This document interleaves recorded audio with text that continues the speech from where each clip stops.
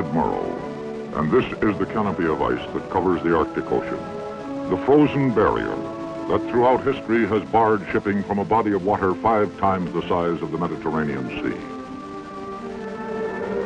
Only once, shortly after the turn of the century, has man reached the North Pole by a surface route. No ship has ever reached the pole. Even the most powerful icebreakers are helpless against this frozen barrier.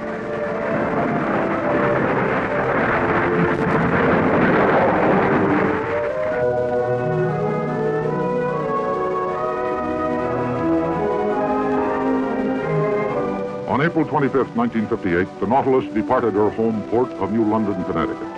Destination, the Pacific, by way of the Panama Canal. The announced purpose of this crew was to indoctrinate Pacific Fleet units in the capabilities of nuclear submarines. Even as Nautilus plied the Atlantic waters southward for Panama, the thoughts of the crew occasionally turned to the three probes Nautilus had made under the ice pack of the Arctic in 1957. For preparations were being made for further under-ice exploration to be conducted the following summer. Technicians were at work on a myriad of electronic equipment. A special modified version of an inertial navigation system, originally designed for use in missiles, had been installed. And the special high-latitude gyro compasses were checked and rechecked. Preparations were made for installing a pressure-proof TV camera for viewing the underside of the Arctic ice. But as the Nautilus transited the Panama Canal, her crew also thought of the West Coast ports they were scheduled to visit. San Diego, San Francisco, Seattle. And they thought of the long, tedious days of operations they were to conduct, initiating the personnel of the Pacific Fleet in the ways of the nuclear navy. Finally, the West Coast tour was over. On the 9th of June, shortly after midnight, the Nautilus slipped quietly from her berth in Seattle, presumably starting her homeward voyage south. But the course set by the Nautilus actually took her farther and farther north. Unseen, beneath the sea, the Nautilus journeyed north to the edge of the Arctic ice pack, then under. The voyage to the North Pole was underway, but this under-ice venture was short-lived. Unexpected ice conditions nearly turned this probe into the Bering and the Chukchi Seas into disaster. The Nautilus was forced to turn back. Changes in the Navy are commonplace, and the men of the Navy are accustomed to changes. Therefore, it came as little surprise to hear that the Nautilus Pacific tour was to be prolonged, to include a visit to Hawaii. On June 28, the Nautilus sailed into Pearl Harbor, site of the Navy's great Pacific submarine base.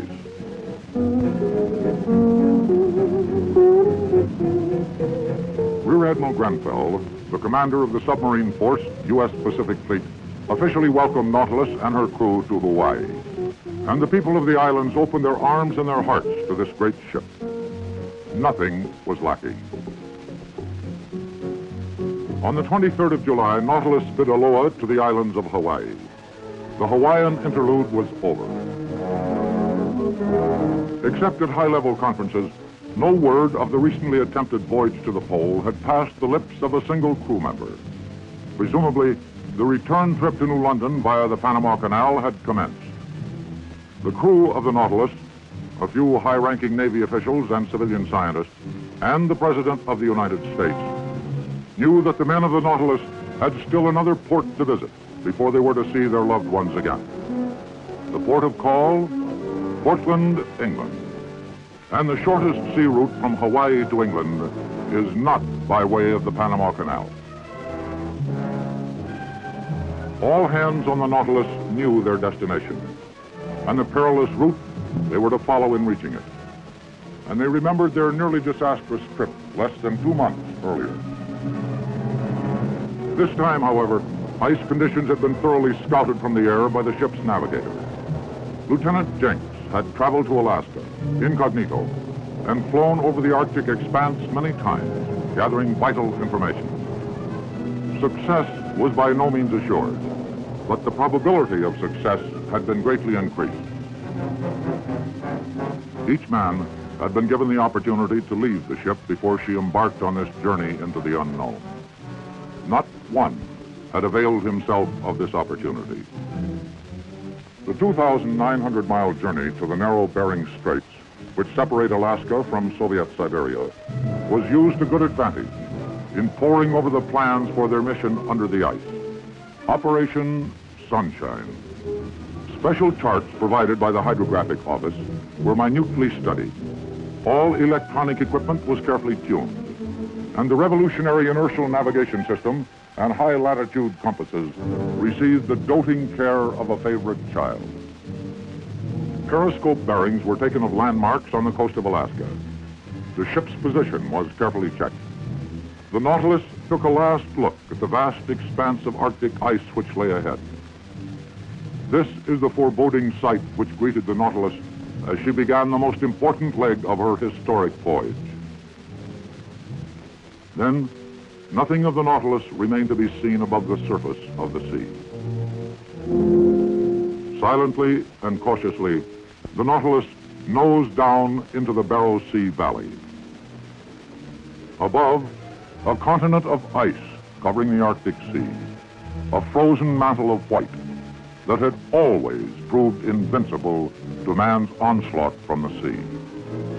Below, the little charted bottom, and ahead, 1,800 miles of cold, watery darkness.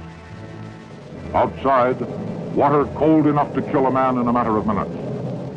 But within the cylindrical steel shell that is the hull of the Nautilus, the crew relaxes in a controlled atmosphere. Temperature, a constant 72 degrees. Relative humidity, 46%. Life was normal. For the Nautilus, everything was routine. Life aboard the Nautilus was very comfortable. The nuclear power plant, which had driven her over 120,000 miles, mostly submerged, also provided heat and electricity. It provided the power which operates the jukebox and the Coke machine. It provided the light by which a man can shine his shoes or read 20,000 leagues under the sea. And it provided the light by which a man could write a letter. By the time you get this, we will have completed our trip under the North Pole.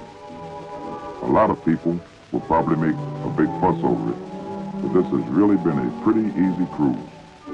It was a little hair-raising when we were trying to find our way under the ice, but the tensions ease up a bit now, and everybody's a little more relaxed.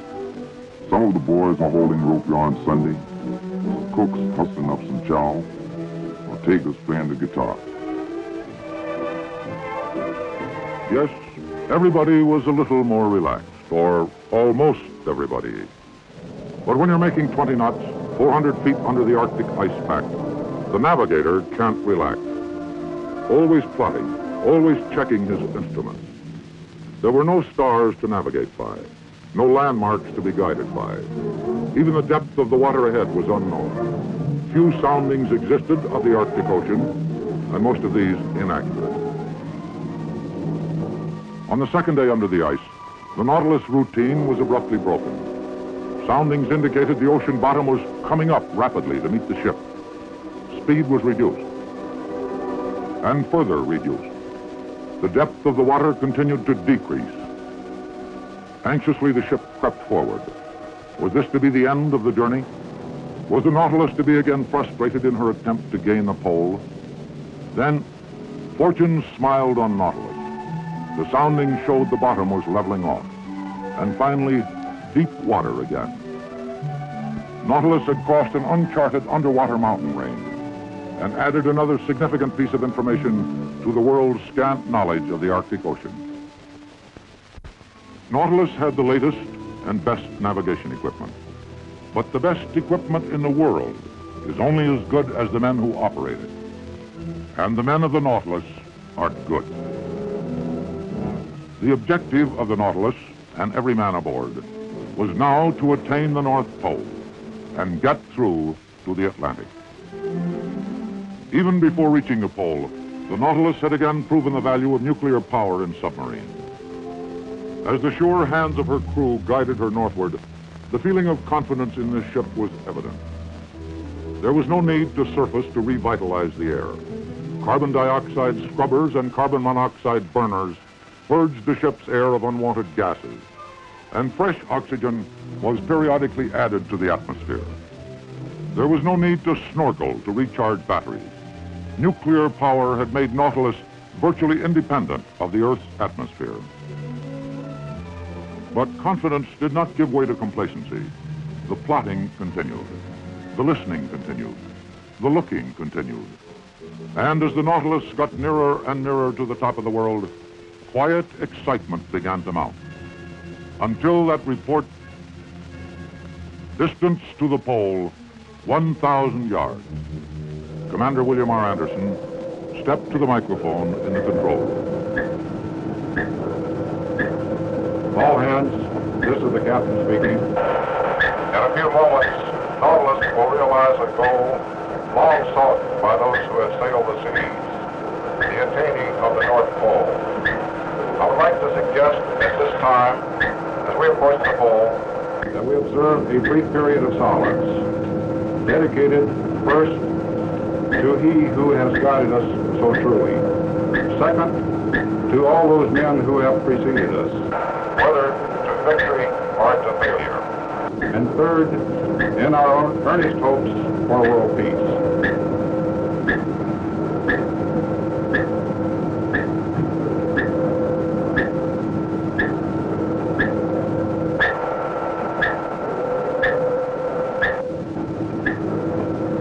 Eight, six, four, three, two, one.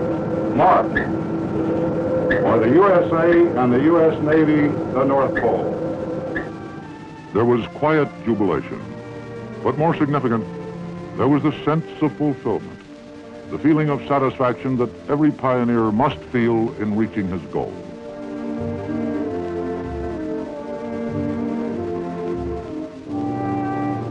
The Greenland Sea. 36 hours after the historic polar crossing, the Nautilus surfaced. The voyage from Pacific to Atlantic by way of the North Pole was now a matter of record. Nautilus had made history. The men of the Nautilus had blazed a trail under the Arctic pack, which reduced the distance from the Orient to Europe by almost half. A feat which seems destined to have enormous impact on future sea commerce. On her return to New York from England, Nautilus received a hero's welcome from a grateful American people. Commander Anderson was awarded the Legion of Merit, and the entire crew was awarded the Presidential Unit Citation, the first such award ever made in peacetime.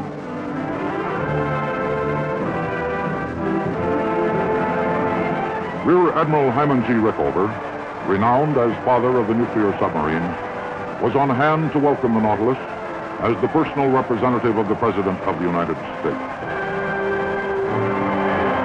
The citizens of New York raised their voices in congratulation, and their voices echoed throughout the free world.